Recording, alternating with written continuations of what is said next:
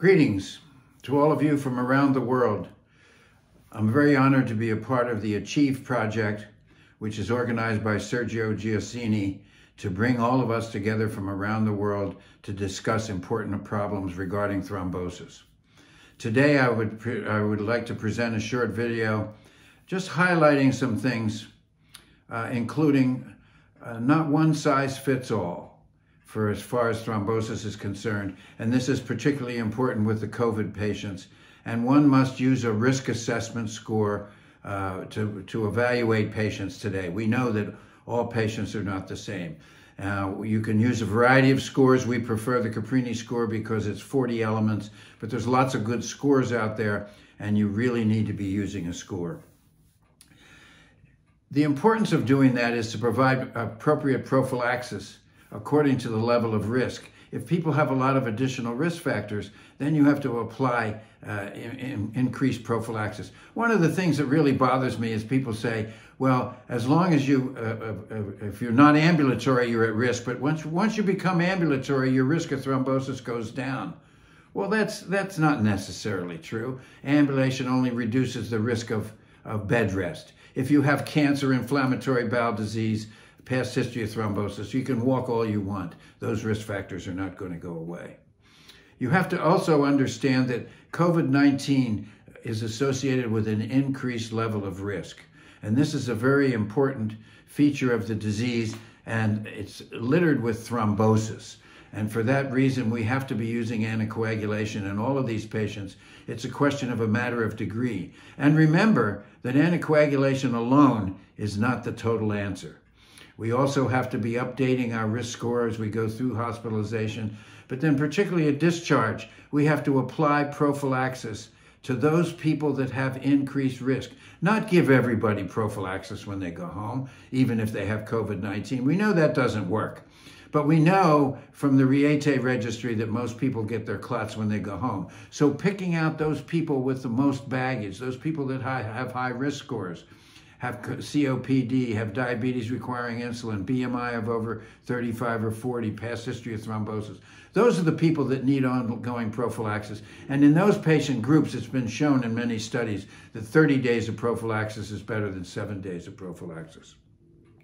So I would like to uh, ask all of you to enjoy this presentation. I ask many questions, there's some provocative statements, and I look to all of you to help me prove or disprove some of these opinions and postulates going forward. Thank you very much, and I hope you enjoy the uh, presentation. Hello, everyone. It is a great pleasure to present this talk regarding thrombosis risk assessment during the COVID-19 pandemic. As a part of the Advances in Comprehensive Venous Education, the ACHIEVE program, through the leadership of Sergio Gianesini. These are my disclosures. We have chosen the Caprini score for this exercise because it is the most comprehensive history and physical that has been validated worldwide in over 5 million patients in approximately 200 studies. We know from the, the past that as the number of risk factors goes up, the incidence of venous thrombosis goes up. We also know that each risk factor has a different power some are very low power, like bed rest, and some are very high power, like cancer of the pancreas. So, taking the powers and combining them with a number of risk factors and putting that together to give a simple score. And that score goes up in a non algorithmic fashion as the incidence of venous thrombosis rises. So, as the number goes up, the incidence of clots goes up. And here you see this in general surgery, and these are real clinically relevant events. Now, capturing all 40 elements in the score is a time consuming process, and we understand that at the time of an emergency uh, or a uh, accident or stroke, that uh, going through all of these is a very difficult thing to do. So we believe that the collection should be facilitated by the patient completing a preliminary patient-friendly form in advance of any problems or elective surgery, ideally with the help of family members. These family members can assist in completing the form also at the type of time of hospitalization if necessary. Then the physician or other healthcare provider responsible for the admitting history and physical can review the form and create an initial document. This document's in a variety of languages. It's in patient friendly lingo, but I want to point out two very special things about this risk scoring system. It tracks the uh, obstetrical uh, complications, which may hide the thrombophilic factor of antiphospholipid antibody syndrome. And this syndrome is a very powerful one, and if it can be persist through life long after the obstetrical incidents are gone and represents a significant risk factor for thrombosis. Similarly, another frequently missed risk factor is family history of thrombosis. It's very important to capture this uh, family history because it often will change what you do with the patient in terms of their risk scoring. The score is a dynamic instrument and needs to be revised during hospital stay, reflecting things such as reoperation, infection, central lines, a cancer that was diagnosed, and the updated score in many cases will result in a change in thrombosis prophylaxis, including post discharge anticoagulant prophylaxis.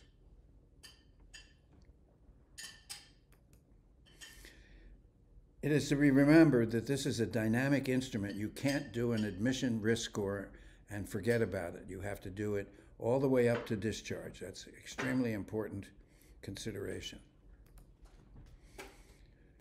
We have come up with a series of recommendations for the coronavirus patients which are not evidence based, but they're based on past experience and also the fact that these patients are at increased risk compared to the general population with the same risk factors.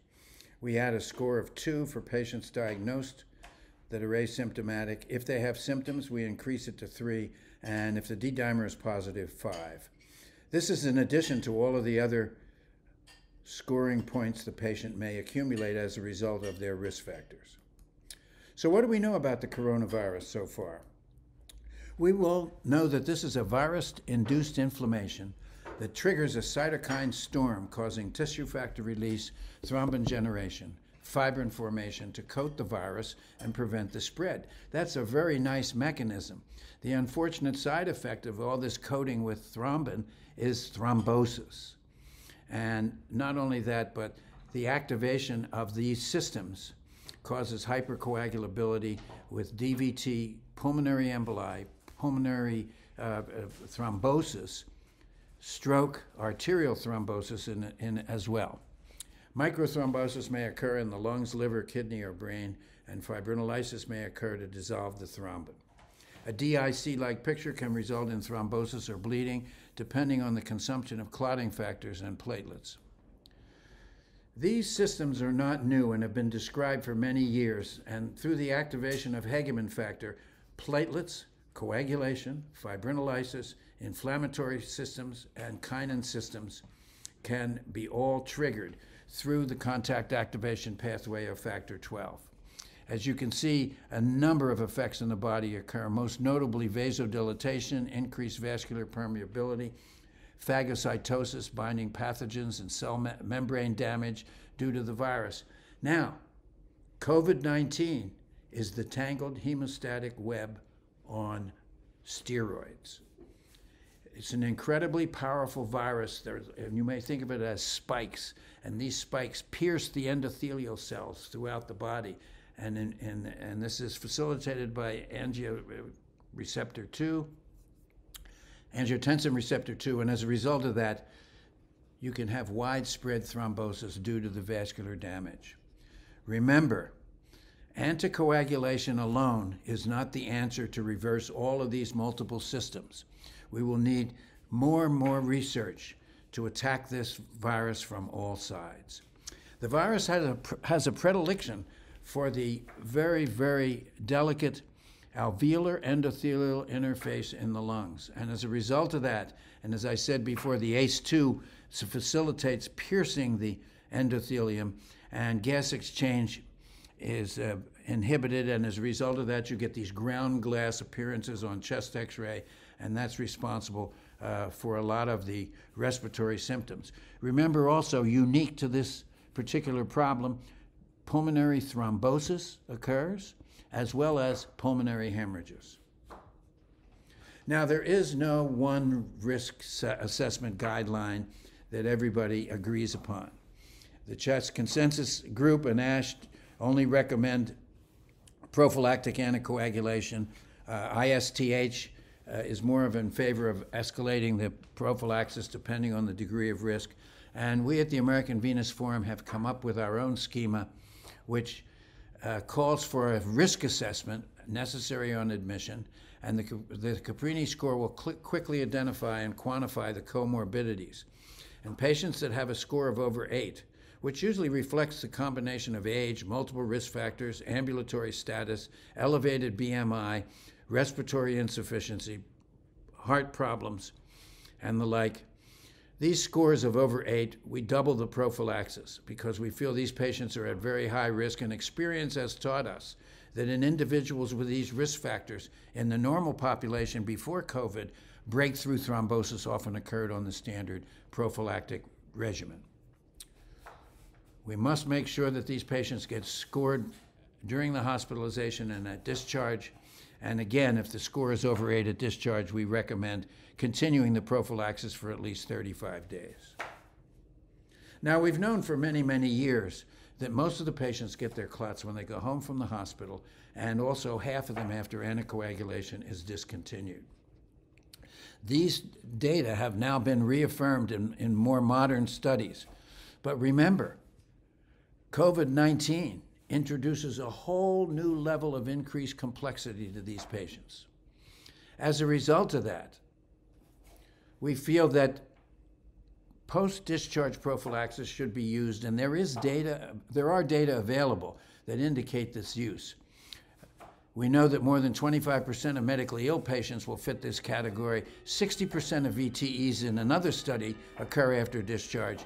Symptomatic uh, pulmonary emboli are often seen, and uh, 80% of these events occur within six weeks. Despite these data, less than 4% of patients are sent home on prophylaxis. We have abundant data from multiple trials, especially with the new drugs, that they do work. And if you're using another risk score, that's fine. But it's very, very important that you provide prophylaxis ongoing after discharge in these patients. So finally, in conclusion, perform risk assessment using your favorite tool. Understand the widespread involvement of the vasculature in this disease. Pulmonary thrombosis and alveolar endothelial damage are prominent features of this disease. Arterial or venous thrombosis can occur anywhere in the body and also include organ insufficiency. Tailoring the intensity of anticoagulation is the key to success and performing ultrasound scanning for specific indications only. Post discharge prophylaxis is required for most patients. Thank you very much for your attention during this lecture, and we'll look forward to a lively discussion session.